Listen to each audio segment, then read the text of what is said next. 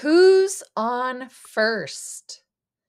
Come learn English with Afghan Advantage. Today we will talk about cardinal and ordinal numbers. What's the difference between a 1 or a 1 with a little ST by it? We're also going to talk a little bit about baseball, which is perfect. Summer is a great time to play baseball, and baseball is very popular in America. And then we're going to talk a little bit about 1950s TV. You'll have to stay to the end to learn why. I know it sounds weird, but it will make sense, I promise. Okay. Cardinal number. That's when you're counting how many. So you see how cardinal and count both start with C. You use cardinal numbers when you count how many. So, like, how many clouds are on this page? One, two, three, four. Four clouds. You use ordinal numbers when you're talking about in what order the items are. So, first, second, third, fourth, fifth, sixth, seventh, eighth, ninth, tenth. You hear those ordinal numbers a lot when you're talking about a calendar because you're talking about in what order of the days of the month. So, for instance, you would say, My birthday is on Saturday the 4th. Or you would say, I have an appointment on Wednesday the 15th. And so that means like the 15th day of the month. You could say, My class starts on Monday the 27th. Here's another example. Um, we know the alphabet. The first letter of the alphabet is A. The second letter of the alphabet is B. And you can keep going all the way to 10th, 20th. And we know there's 26 letters in the alphabet. So the letter Z is the 26th letter of the alphabet or the last letter. We need to review a little bit of vocabulary. So, the question word who is when we're talking about a person. For instance, who is in this picture? There's a mother and a father and a baby. Okay. When we say where, we're talking about location. So, left, middle, right. So, this is what you could say. Who is in the middle? The baby is in the middle. Who is on the right? The father is on the right. Where is the mother? The mother is on the left. So you could keep going back and forth with questions about who and where for this picture. Just a quick review of these color names if you need it red, purple, green, brown, gray, pink, orange, black, blue. So now let's practice. How many cars? That means I'm counting the number of cars. That's a cardinal number. So looks like we have nine cars. So I could say, where is the purple car? The purple car is second. Where is the gray car? The gray car is fifth. You could practice that with all of the different colors. You could also say, What color is the fourth car? The fourth car is brown.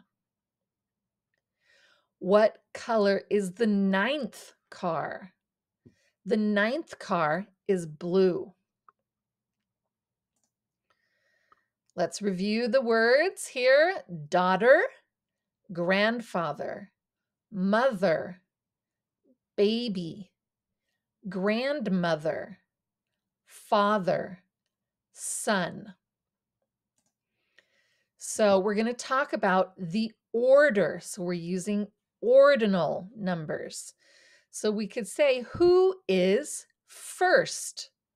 This arrow, I'm showing you that we're starting on the left and going to the right. So first is the daughter. The daughter is first.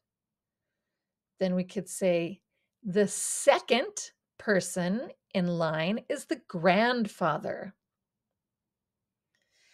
In third place is the mother and baby. Even though it's two different people, they are still in the same spot. There's seven people here, but there's really only six spots because the mother and the baby are together. Okay, who is fifth? The father is fifth. Here's some more practice. The first ball is big. The second ball is little. The third ball is little. The fourth ball is big. Okay, and you could keep going. I could also ask you, what size is the sixth ball? The sixth ball is little. What size is the fourth ball? The fourth ball is big. Let's review these animal names. We have a cat, dog, turtle, fish, horse, cow. So, how many animals? We're counting how many, so we need a cardinal number. There are six animals. How many of the animals have four legs.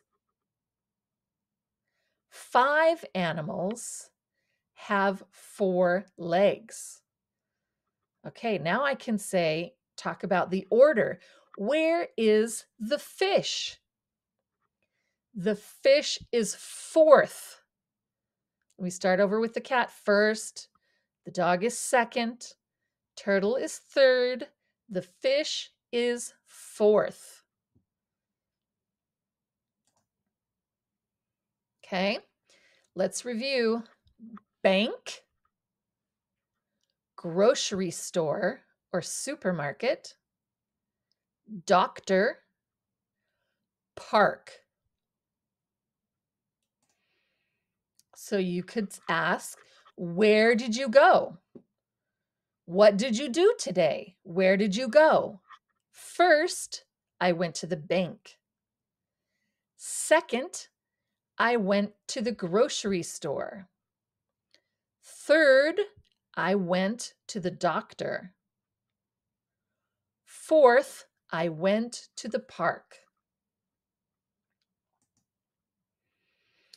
Okay, here we have a boat, helicopter, bike, truck, airplane, police car, fire engine, bus, minivan, hot air balloon. So now we're going to talk about the order. You could say the boat is first. The helicopter is second. The bike is third. The truck is fourth. The airplane is fifth. The police car is sixth. The fire engine is seventh. The bus is eighth. The minivan is ninth. The hot air balloon is 10th. When you go to school, you start in the first grade. Then you go to second grade, third grade, fourth grade. Okay, the grades go in order. They use the ordinal numbers. So if you were in third grade, you might have for your first period class math. Then your next class, reading. Let's look at the rest of these names. Lunch, recess. Recess is when you go play outside. It's spelled really weird because the C in recess makes a S sound. Then we have music. The C makes a K sound. Now we have science. There's two C's in that word, and they both make the S sound. Science, art, English, history. Okay, so let's look at this class schedule. If you are in seventh grade, first period is science. Second period is math. Third period is lunch. Fourth period is art. Fifth period is English. So you can keep practicing with the other grades. Let's do ninth grade. Ninth grade, first period is math. Second period is history. Third period is music. Fourth period is lunch. Fifth period is science. Here's another practice for you. Here's the vocabulary words at the bottom. This is a bookshelf. If it's plural, bookshelves. Top and bottom. So down on the bottom shelf or the first shelf, we have books and a garbage dumpster. On the second shelf, there is a doll. On the third shelf, there is a hanger and a truck. On the fourth shelf, there is a flower and an apple. On the fifth shelf, there is a hat, a phone, and a bus. On the sixth shelf, there is a stop sign and a shirt. On the seventh shelf, there is a shopping cart. On the eighth shelf, or the top shelf, there is a swing and a slide. Where is the hat? The hat is on the fifth shelf, left side. The hat is on the left side of the fifth shelf. Where is the phone? The phone is on the fifth shelf in the middle. The phone is in the middle on the fifth shelf? Where is the hanger? The hanger is on the third shelf on the left. Where is the doll?